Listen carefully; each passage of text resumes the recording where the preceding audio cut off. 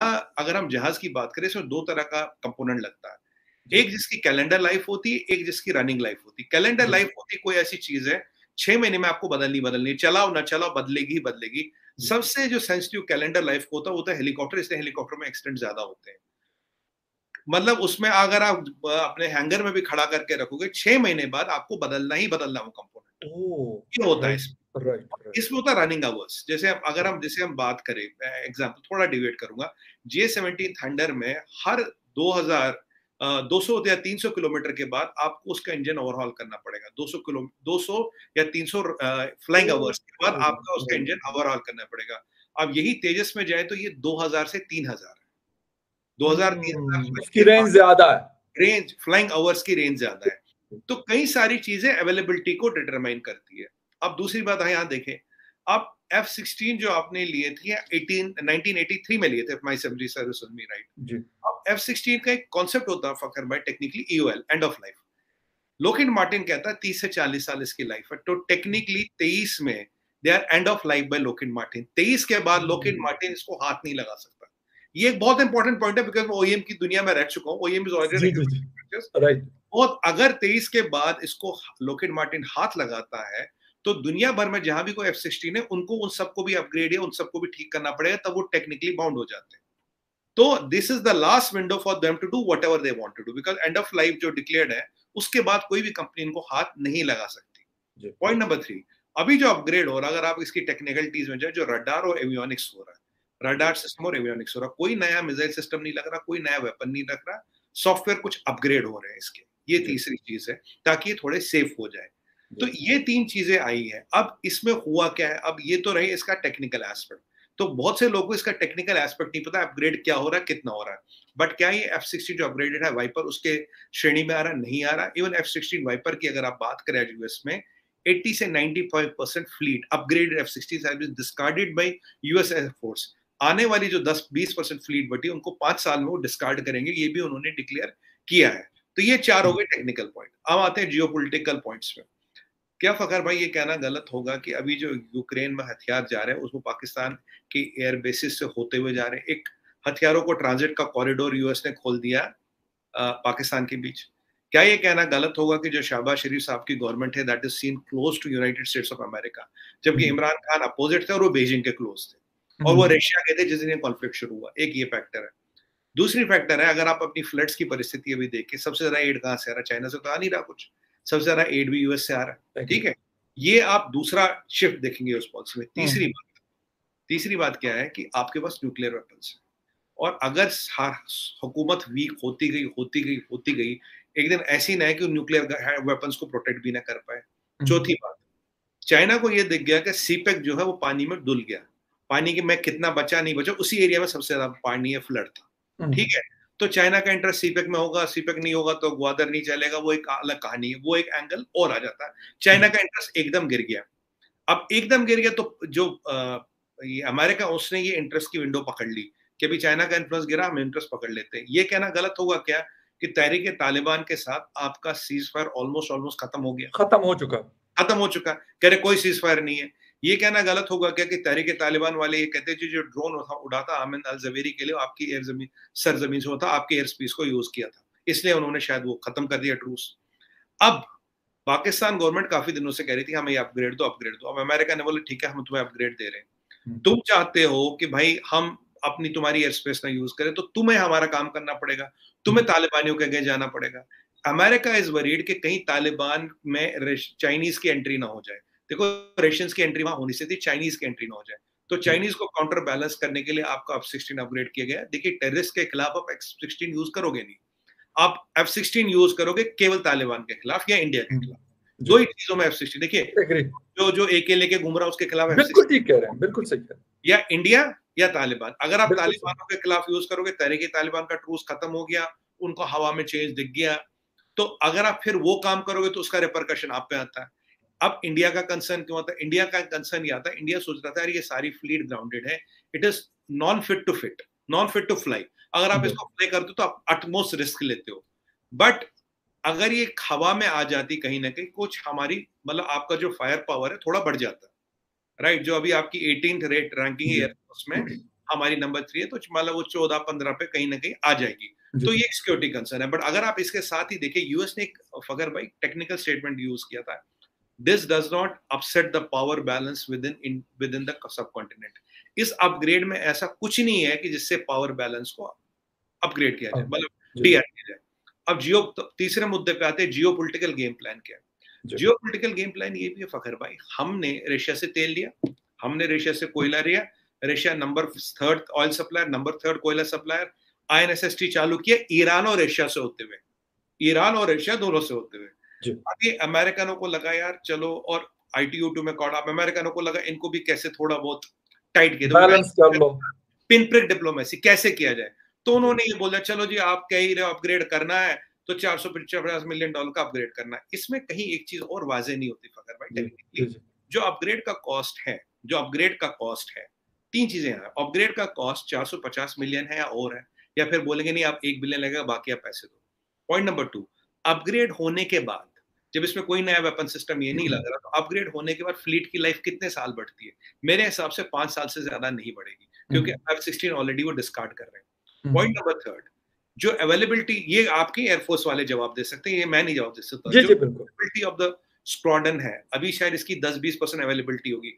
After this upgrade will it be 40 percent sixty percent eighty percent या hundred percent and last point what is your target number one देखिए India से अगर कोई दिक्कत होती तब आप यूज़ करोगे। तब के लास्ट टाइम भी अमेरिका ने रिप्रिमांड किया था पाकिस्तान को आप इंडिया के खिलाफ यूज़ नहीं कर सकते हैं। आपको इसलिए नहीं दिया गया। अब आपको ये तालिबानों के खिलाफ यूज़ करना ही पड़ेगा क्योंकि अब अपग्रेड हो चुका तो आप अपग्रेड यूज़ करोगे नहीं करोगे। ये एक बहुत टेक्निकल मतलब दुविधा में आप फंस गए। अच्छा, एक लास्ट टेक्निकल पॉइंट है। इसमें तो ये सारे हमारे टेक्निकल पॉइंट हो गए। अब एक बहुत बड़ी चीज़ आती है कि ये हमने अपग्रेड भी कर दिया ये भी कर दिया वो भी कर दिया। पर अगर इसमें फायर पावर नहीं बढ़ता कोई नया मिजाइल सिस्टम नहीं लगता हम्म। तो how is this F sixteen comparable to a F sixteen which is still in the air and is it worth to spend और to take a aid of two hundred fifty million dollar जो again Lockheed Martin को मिलेंगे?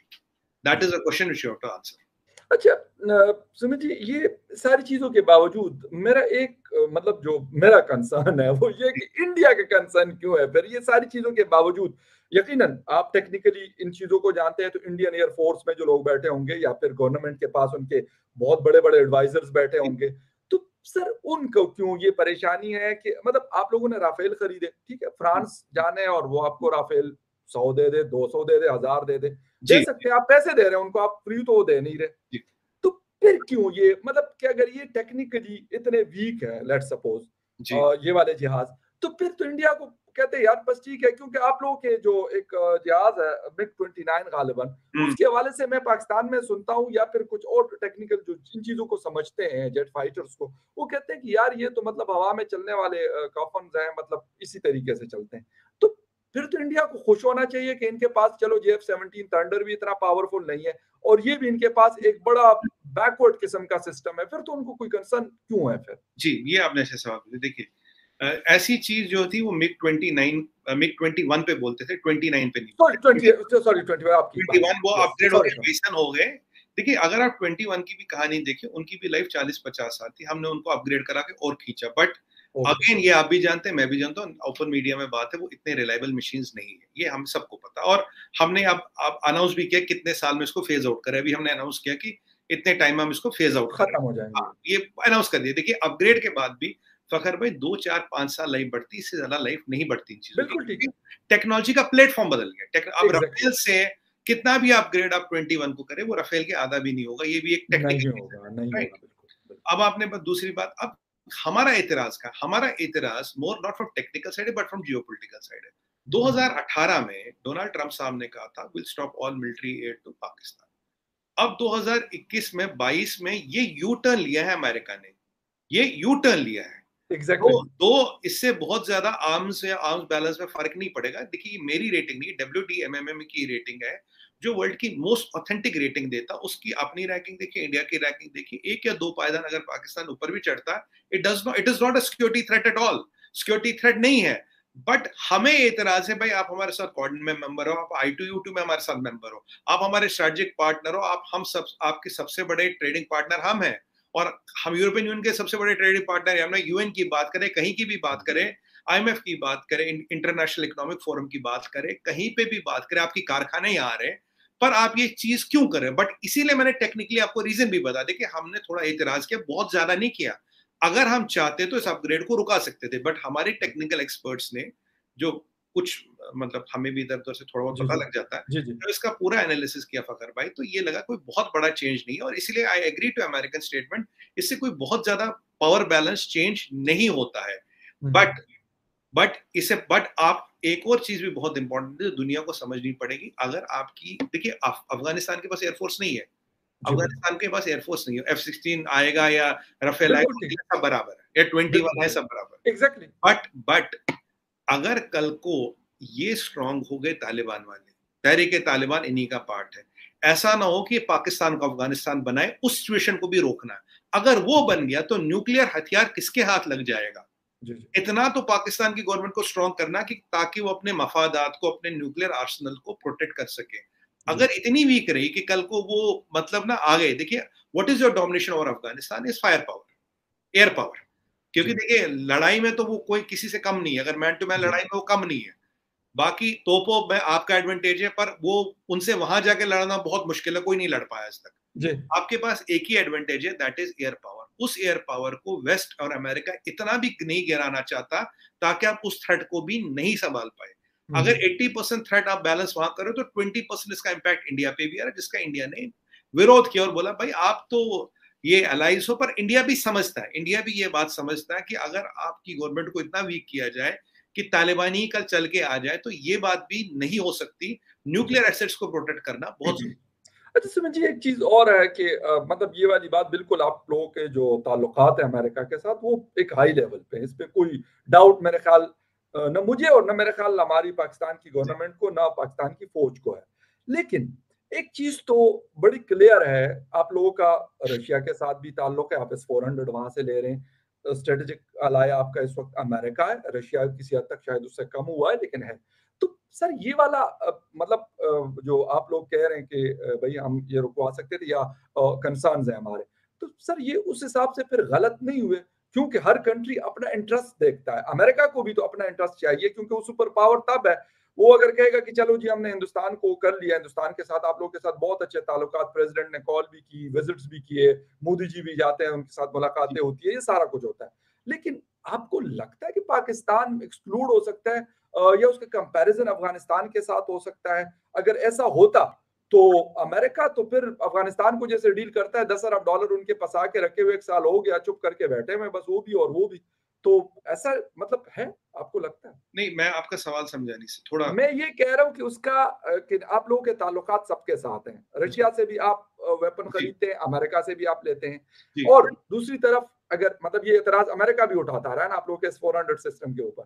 अब अब ये इतराज आप पाकिस्तान के खिलाफ उठा रहे हैं कि भाई आप पाकिस्तान को क्यों कुछ कुछ दे रहे हैं? तो दुनिया में तो सर हर कंट्री अपना नेशनल इंटरेस्ट देखता है जिस तरह हिंदुस्तान देखता है। इसी तरह रशिया देखता है अमेरिका देखता है पाकिस्तान शायद उस लेवल पे नहीं देखता लेकिन चले किसी हद तक देखता है। और अमेरिका की किसी न किसी हद तक मजबूरी है कि वो पाकिस्तान के साथ ताल्लुक रखेगा उसको कट ऑफ़ नहीं कर सकता। बिल्कुल मैंने यही बोला। मैंने आपको विद टेक्निकल जियोपॉलिटिकल और सारे रीजन लाइन बाय लाइन बयान इसलिए के फकर भाई क्योंकि देखिए मैं किसी भी डिबेट में अपना पर्सपेक्टिव नहीं लाता। मेरा पर्सपेक्टिव इंपॉर्टेंट नहीं है। इंपॉर्टेंट है लॉजिकल प्रोसेस कि क्यों exactly. मतलब जो मैं बोल रहा हूँ what is logical reason for that नहीं तो देखिए फिर तो मैं बोल दू यार वो इमरान खान को नीचा दिखाने के लिए अपग्रेड कर दिया। एक टीआरपी बहुत आएगा। अगर मैं बोल इमरान खान को नीचा दिखाने के लिए अमेरिका ने अपग्रेड कर दिया।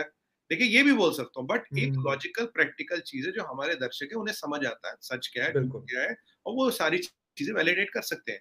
देखिए फकर भाई अगर लास्ट टाइम अभिनंदन के अगेंस्ट एफ़ सिक्सटीन नहीं यूज़ किया होता अमेरिका ने आपको रिप्रिमांड नहीं किया होता तो तब ये मसला नहीं था। बट अभी टेक्निकली स्पीकिंग हमें इतराज तो ज़ाहिर करना था। वी हैड टू रेज इतराज तो हमें अपना करना था ज़ाहिर। हमें जब एस टू हंड्रेड मिला यूएस ने भी इतराज ज़ाहिर किया और आपने और हमने बात की। मैंने आपको exactly, हमने की थी बिल्कुल। मैंने कहा मैं ये कॉस्मेटिक है देखिए वो पॉलिटिक्स है उन्हें बोलना पड़ेगा। ऐसा नहीं हो सकता कि वो बिल्कुल छुप लगा वैसे हमें बोलना पड़ेगा but technically it's not such a big threat और इससे कोई पावर. इक्वेशन अब बैलेंस नहीं होती। तभी मैंने आपको फकर भाई कहा अगर ऐसी चीज़ होती जिससे पावर इक्वेशन अपसेट हो जाती तो इसको रुकवा भी सकते थे। अभी हम बोल रहे हैं एतराज़ कर रहे हैं जैसे अमेरिका ने हमारे एस फोर हंड्रेड पे एतराज़ किया बोला एस फोर हंड्रेड भी आ गया। रुकवाया नहीं। हाँ रुकवाया नहीं रुकवाया नहीं। देखिए दो चीज़ें एक बोलना और एक रुकवाना। क्योंकि डेमोक्रेसीज में सिमेंटिक्स ऑप्टिक्स की ज़रूरत होती है। मैं डायरेक्ट बोलता सिमेंटिक्स ऑप्टिक्स की ज़रूरत होती है। पर अगर आप टेक्निकली देखा जाए तो इससे कोई थर्ड परसेप्शन बहुत ज़्यादा नहीं बढ़ता। बट हाँ हम्म। आपकी एयरफोर्स को इतना स्ट्रेंथन करता ताकि अगर तालिबान या तारीख तालिबान से एक बड़ा चैलेंज आए आप उसको हैंडल कर पाओ। क्योंकि हमें एक चीज़ और यहाँ बजट करनी है। कल को अगर चाइना ने तालिबान को सपोर्ट करना शुरू कर दिया तब आपके लिए जो क्वांटम ऑफ़ प्रॉब्लम है एकदम बढ़ जाएगी। अगर आप हम्म। बोलेंगे आप ये लॉजिक क्यों लगा रहे हैं? मैं आपको बताता हूँ। आपने नाम सुना होगा अराकान आर्मी का। ये अराकान आर्मी दस हज़ार स्ट्रॉन्ग मलेशिया म्यांमार बॉर्डर पे जो हमसे लगता है रक्सेना प्रोविंस में। अगर भाई इतने स्ट्रॉन्ग है वो म्यांमार का स्पेशल फोर्स वहाँ गया था पीछे। जी। वो लिबरेट नहीं कर पाया उनके कमांडर को मारा और उसको उसका वीडियो अपलोड किया। उनके पास anti aircraft guns latest Chinese machinery और 99.9 percent funded by CCP of China है। कभी उस पर भी शो करेंगे अराकान आर्मी में काफ़ी नेशनल कर चुका हूँ। तो अब यहाँ पे ऐसी कोई घटना चाइना ना कर पाए इसलिए पाकिस्तान की एयरफोर्स का एक पावर एज होना ज़रूरी है जो तालिबान या ऐसे चाइना को भी पता लगे नहीं आप यहाँ ये सब नहीं कर सकते। क्योंकि चाइना के इरादे कहाँ जाए? देखिए अभी जो फ्लड आई है चाइना तो गायब चाइना गायब है इसमें कोई शक नहीं है ये बिल्कुल आप सही कह रहे हैं। अभी भी जो आप हम गाली दे कुछ भी बोले अमेरिकन को सबसे ज़्यादा एड तो अमेरिका ही भेज रहा है। चलिए आपको इंडिया से नहीं लेना अलग बात है। पर अमेरिका तो भेज रहा है ना, अमेरिका सर, दड़ा दड़ भेजा है और अमेरिका ने इससे पहले भी जब 2008 का अर्थक्वेक आया था तो उसमें उन्होंने अपने काबुल के अंदर उनके चिन्हित हेलीकॉप्टर्स थे और यकीन करे वो ऐसे मतलब यहाँ उड़ते थे जिस तरह आप लोग के यहाँ तो मुझे नहीं पता, लेकिन चिंचियाँ यहाँ होती है, रिक्शे की तरह की सवारी है यहाँ पे, पाकिस्तान में होती है बाइक्स की बनाई होती है गालिबन बांग्लादेश में है आई थिंक सो तो वो उसकी तरह यकीन करें वो मतलब चलाए जाते थे खैबर पुख्तनख्वा में आज़ाद कश्मीर में और ये मतलब मुख्तलिफ़ इलाकों में ऐसे हमें नज़र आते थे और नो डाउट कि उन्होंने बड़ा हेल्प किया। ये अलग बात है कि हमने एक मेंटेलिटी ये बना ली कि अगर उनको बुरा भला नहीं कहेंगे तो फिर हमारा चूरन नहीं बेगेगा हालाँकि आज भी वो खड़े हैं। उन्होंने हर तरह की मदद दी है सर हर तरह की। पैसे भी दिए और बाकी चीज़ें भी दे आप देखिए ये चाइना की स्ट्रेटजी आपको श्रीलंका में भी ये दिख रही है पाकिस्तान में और ये आपको याद हो फखर भाई मैंने आपको करीब दो तीन महीने पहले ये प्रेडिक्ट कर चुका था। मैंने कहा भगवान न करे ऐसा होगा। ये बिल्कुल श्रीलंका का मसला हुआ था उस पर आप मैंने बोला ये बिल्कुल ये करेंगे आप देखिएगा ये गायब हो जाएँगे सीन से बिल्कुल। तो और मैं आपको सच पाए आज आपको एफ़ सिक्सटीन अपग्रेड हो रहा है ना भारत से ज़्यादा तकलीफ़ चाइना को हो रही होगी। सच बात बात है नहीं आपकी बात दुरुस्त है। ये आपकी बात इसलिए सही है क्योंकि पाकिस्तान चले जैसा भी है लेकिन उनका वेपन तो खरीदता है ना उनके हेलीकॉप्टर हम्म। उनके जो है जेट फाइटर्स और ये सारी चीज़। अच्छा सुमित जी एक चीज़ इस वक्त जो डिसंगेजमेंट के हवाले से है जी। तो ये मतलब कहाँ कहाँ पे हुआ है? और वाकई ये मतलब एक लॉन्ग लास्टिंग जो प्रोसेस तो एक बहुत लेंथी रहा है लेकिन क्या ये अब रहेगा कायम रहेगा? या फिर कुछ गलवान जैसी या फिर मतलब इस तरह की कोई चीज़ हुई थी दोबारा भी हो सकती देखिए फखर भाई ए, एक टाइम था कि इंडिया का चाइना पॉलिसी बहुत नरम थी। मतलब आप 62 की बात करें या जबकि 67 में हमने उनको अच्छा जवाब दिया था 62 की बात करें उसके बाद हमने मैं सच बताऊँ को आठ साल पहले जब तक तो मोदी जी नहीं आए ना हमने सड़कें वहाँ बनाई ना हमने कुछ किया हमने कुछ नहीं किया था। एक हमारे डिफेंस मिनिस्टर ए के एंथनी साहब ये पब्लिक में स्टेटमेंट है मैं कोई अपना नहीं कह रहा है टीवी में था बोला no build not building roads to China is the best defence to China वहाँ सड़क मत बनाओ बेस्ट जब मोदी जी है एक होता था हमारा नेशनल ग्रीन ट्रिब्यूनल उसमें अगर आपको बॉर्डर में रोड बनानी तो नेशनल ग्रीन ट्राइब्यूनल आपको वो देगा ना अप्रूवल कि अगर वहाँ दस दरख्त कटेंगे चार बंदरों के हैप्टाइट हटेंगे चार गिरेलियों के घोसले हटेंगे वो हटाया नहीं बटाए सड़क बनाना ज़रूरी नहीं था पर अप्रूवल उनका लेना ये ये ये होता था ये होता था ठीक है? और ये पब्लिक डोमेन में बात है कोई आपको अंदर की बात नहीं बता रहा। बिल्कुल तो ये आए तब से हमने इंफ्रास्ट्रक्चर बढ़ाया। आप आप तो जानते होंगे हमने तीस साल तक तीस साल तक होविट्जर गन नहीं ली थी। नहीं ले पाए। एक के बाद एक के बाद स्कैम हुआ। आज अपाची चनूक एसोर under Rafale howitzer M seventy seven किस किस किस हथियार का मैं आपको लिस्ट बनाऊँ इस सब की प्रोक्योरमेंट हुई पिछले आठ साल में। एक स्कैन एक आरोप तक नहीं लगा। नहीं लगा। कुछ नहीं हुआ। क्यों? हमने अपना इंफ्रास्ट्रक्चर बनाया रोड बनाई ये बनाई। अब चाइना जब देखिए कोविड का देखिए चाइना की मेंटेलिटी समझिए कोविड पीक में था हमारे यहाँ आबादी हम्म। बढ़ी है। हमारे कुछ लोग ये भी कहते पचास मिलियन लोग मरेंगे कोई कहता सौ मिलियन लोग मरेंगे ऐसे बहुत थे थे ऐसे दूसरे प्रोफेसर उन्होंने कहा यार इंडिया अभी थोड़ा गिरा हुआ बिकॉज़ आबादी ज़्यादा अभी उन्होंने वो अपनी हकामाकत कर दी। अब जो एल है एल में फगर भाई एल है तो बीच में ये बफर जोन है इधर और इधर। आर्मी यहाँ रहती यहाँ इन्होंने क्या किया अपने बफर जोन में आगे चल गए। हमारी तरफ़ नहीं आए ना हमारे बफर जोन में अपने बफर जोन में आ गए ये आए तो हमें भी आना पड़ा। अब ये एक चीज़ देख रहे थे ये देख रहे थे भारत आ तो गया टिक पाएगा नहीं टिक पाएगा? अपने आप को स्ट्रेंथन कर पाएगा नहीं कर पाएगा? ये सट्टा लगा के बैठे थे कोविड भारत को खत्म करेगा हम ज़मीन ले लेंगे। मतलब इनका गेम प्लान अब हम सामने खड़े हुए फिर हमने अपनी जो हथियार है असला है बारूद है सड़क है ये बनाते गए बनाते गए चाइनीज़ की कैलकुलेशन थी कोविड भारत पे हावी हो जाएगा फिर हम भारत पर भारत की गवर्नमेंट बोलेगी देखो जी हम पीछे जा रहे हैं हम अपने फोर्सेस विड्रॉ करें अब आप बात करो। पहले उन्होंने एक दो बार ऐसी कोशिश भी की थी, आप फोर्सेस विड्रॉ करो, हम बात हमने को कोई विड्रॉ नहीं कर रहे। तुम 500 मीटर दूर हो सेंटर पॉइंट से, हम भी 500 मीटर दूर है सेंटर पॉइंट से। मेरे डिप्लॉयमेंट से हम कई बार बात कर चुके और यही नहीं, हमने अपना आर्मी और आर्सनल बढ़ाया, हमने अपनी इकोनॉमी संभाली कोविड को मैनेज किया इंडस्ट्रियल आउटपुट बढ़ाया एक्सपोर्ट को बढ़ाया। ठीक है, हमारी आबादी पॉइंट टू परसेंट है which is almost under control right इस सबको चीज़ को देखते हुए चाइना ने हमें दो साल जांचा, परखा और खूब टटोला। दो हम्म। साल बाद अब उनको लगा कि नहीं यार ये हटने वाले नहीं है। ये हटेंगे नहीं ये डरेंगे नहीं। और आपको याद होगा कैलाश रेंज में तो हमने 24 घंटे में कैलाश रेंज डोमिनेट की थी हमारे माउंटेन कोर ने और पूरा तभी पैगोंगसो से चाइना फटाफट हटा। उन्हें सरप्राइज़ भी दिया। ये बताया कि वलरेबिलिटी हमारे साइड नहीं है तुम्हारे साइड भी है। अगर हमारी पाँच है तुम्हारी छह होंगी या चार होंगी। ऐसा नहीं कि तुम ज़ीरो और हम पाँच पे बैठे ऐसा नहीं है। उसके बाद पैगोंगसो में डिसंगेजमेंट और पाँच पॉइंट है। पैगोंगसो की हम बात करें डिप्सांग दिमचुक पीपी जिसे हम कहते हैं पीपी सेवनटीन ए और पीपी फिफ्टीन अब ये जो पैगोंग सो पहले हो चुका फिर और दूसरा आता पीपी सेवनटीन ए जिसे हम कहते हैं गोगरा पोस्ट वो लास्ट ईयर हो चुका। राइट ये है हॉट स्प्रिंग्स जिसे हम मोटा मोटा जिसे पीपी फिफ्टीन को कहते हैं हॉट स्प्रिंग्स ये हो गया। अब दो जगह प्रॉब्लम है। एक एक ऊपर डेप्सांग पे और नीचे दिमचुक पे। पाँच में से तीन पॉइंट रिजोल्व हो गए। दो पे प्रॉब्लम अभी भी है और अभी एस समिट हो रहा है। आपको ये भी पता होगा फखेर भाई पीछे पोलिट ब्यूरो कांग्रेस की मीटिंग हुई और जब वो एक सीक्रेट मीटिंग होती है पंद्रह दिन की और जब मीटिंग खत्म हुई तो वो जो है हमारे जी जिनपिंग और दूसरा उसका डिप्टी वो सिर्फ़ इकोनॉमी इकोनॉमी इकोनॉमी की बात करें चाहे हालत खस्ता हाल है अमेरिका का आप कुछ कर नहीं पा रहे हो। और हम्म। आप भारत से भी पीछे जा रहे हो पोलिट ब्यूरो की कांग्रेस की मीटिंग है पंद्रह बीस अक्टूबर को जहाँ ये डिटरमाइन होगा जी को तीसरा टर्म मिलेगा या नहीं मिलेगा। अब यहाँ एस हो रहा है। चाइना की इकोनॉमी की हालत हम कई बार डिस्कस कर चुके हैं फैक्ट फिगर्स नंबर्स अब उन्हें ये लगता है कि यार अब हमने हमें मिला क्या? अब देखिए मिला तो कुछ नहीं। वट हैव यू गेन अगर आपने ये पॉस्चरिंग की ये स्ट्रेटजी की you not gain anything right अब एस में उन्हें उन्हें हमसे ट्रेड चाहिए। और डॉक्टर जयशंकर ने एससीओ फॉरनर्स मीटिंग में बिलावल भुट्टू साहब भी थे वहाँ एक चीज़ आपको याद होगा दो चीज़ें बोली थी। बोली mutual respect mutual sensitivity mutual interest ये और बोला the health of the trade will be as good as the health of the border ये क्लियर कर दिया था। ये दो पॉइंटेड स्टेटमेंट है पूरे में से जो मैंने देखा। अब ये अब एस में आपकी बार पहली बार जी जिनपिंग बाहर जा रहे हैं। Correct hmm. दो साल से गए नहीं। वो चाहेंगे मोदी जी से बायलैटरल हो या मोदी जी पुतिन और जी जिनपिंग का ट्राइलैटरल हो ये भी कोशिश करेंगे। पर उसके लिए आपको यहाँ से जाना पड़ेगा। बिकॉज़ अगर आपने ये पोजिशन छोड़ी है फगर भाई you can not practically sustain this position आप दो साल से कुछ नहीं बिगाड़ पाए कुछ नहीं उखाड़ पाए तो इसलिए आप इस पोजिशन से वापस जा रहे हो। तो ये सारी बात ये जो अभी कोई फॉर्मल उनका रिक्वेस्ट नहीं आया एस में मीटिंग के लिए बट ऐसी अटकलें लगाई जा रही है। तो ये चीज़ है बाकी एक और चीज़ आपको बताओ चाइनीज़ भरोसा कोई नहीं कर सकता। अगर आपने अभी न्यूज़ में पढ़ा होगा इस पर अलग से शो करेंगे। वी हैव स्ट्रेंथन और अरुणाचल का पूरा बॉर्डर जो है देखिए ऊपर लद्दाख के बाद नीचे अरुणाचल में लगता है। अरुणाचल में हमने टोटल रिवैम कर दिया अपना बॉर्डर टोटल रिवैम कर दिया इंफ्रास्ट्रक्चर कल परसों में नेशनल टीवी डिबेट में था टोटल रिवैम कर दिया क्योंकि आप ये गारंटी नहीं कि यहाँ से यहाँ ये सुधर जाएगी यहाँ पाँच मिनट खोल देंगे। हम्म, किसी और जगह से भी कर सकते पाँच मिनट खोल देंगे।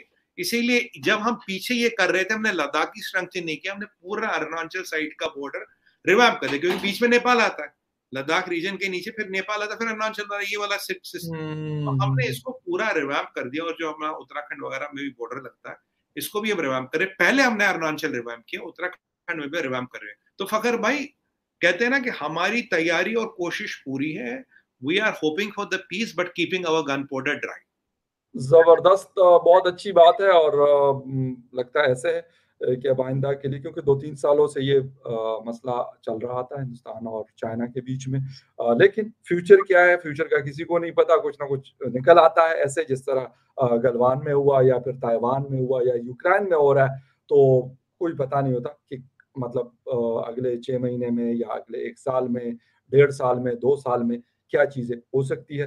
लेकिन thank you very much Sumit साहब फॉर योर टाइम कि आपने अपना टाइम दिया and thank you very much viewers for watching debate with Fakhar Yusuf ji किसी और डिबेट में आपसे फिर मुलाकात होगी तब तक के लिए take care thank you sir thank you very much thank you very much thank you